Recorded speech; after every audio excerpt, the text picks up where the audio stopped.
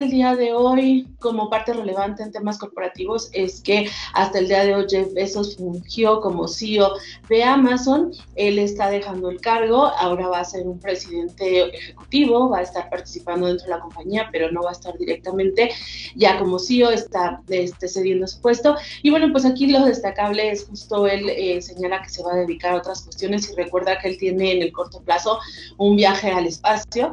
Entonces, pues bueno, a los 57 años de y después de haber creado la compañía, 26, 27 años al parecer hace que la creó.